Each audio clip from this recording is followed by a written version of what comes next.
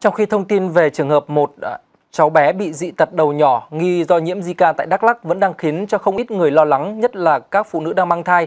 Thì ngày hôm nay cũng ở địa phương này lại phát hiện thêm hai trẻ nữa bị dị tật đầu nhỏ và cũng nghi do nhiễm virus Zika. Hai trẻ bị dị tật đầu nhỏ nghi nhiễm virus Zika là hai chị em ruột trong một gia đình, người chị 7 tuổi và người em ruột 4 tuổi.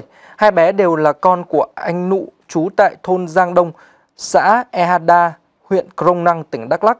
Được biết là bé gái 7 tuổi có vòng đầu là 35cm, bé gái 4 tuổi vòng đầu là 39cm, nhỏ hơn rất nhiều so với các bé cùng tuổi. Theo gia đình của anh Nụ thì vợ chồng anh có 4 người con. Con đầu và con út thì phát triển bình thường, riêng hai con giữa thì từ lúc sinh ra đầu đã nhỏ và giống hệt nhau. Đặc biệt là hai cháu này đến nay vẫn chưa phát âm rõ ràng và có biểu hiện chậm phát triển. Trung tâm Y tế Dự phòng tỉnh Đắk Lắk cho biết là đã gửi mẫu máu và mẫu nước tiểu của hai bé gái này đi xét nghiệm nhằm xác định nguyên nhân gây ra chứng đầu nhỏ. Trước đó, Sở Y tế Đắk Lắk cũng phát hiện một bé gái 4 tháng tuổi ngụ tại huyện Krông Búc bị dị tật đầu nhỏ và nghi do nhiễm virus Zika.